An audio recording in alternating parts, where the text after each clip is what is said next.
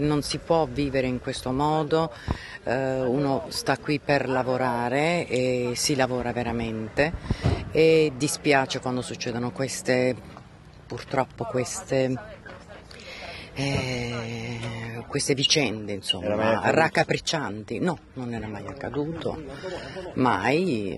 ehm, Sono state fatte tante feste e quindi alla fine non, non vedo qual è il, ehm, il- il senso. Ehm, niente, voglio dire che insomma di mettere fine a questo eh, scempio, insomma, eh, questi giovani purtroppo oggi devo dirlo non si divertono, i giovani oggi non si divertono, i giovani oggi vogliono morire perché, e fanno morire, tutto qui. No. E cosa manca secondo lei?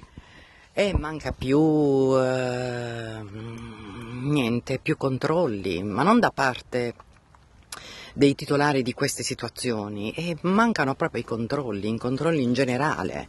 Controlli in generale, sì sì, penso di sì, sì sì, come sempre insomma. Signora, non era mai accaduto? No, non era mai accaduto, assolutamente, assolutamente no, mai, mai, lo posso Come garantire. momento? Eh, malissimo, perché io sono venuta per trovare qui mio fratello, insomma, per vedere come sta, perché poi eh, chiaramente la famiglia si unisce a questo tipo di ehm, problematiche, insomma, condizioni, eh, situazioni e che bisogna purtroppo affrontare anche questo.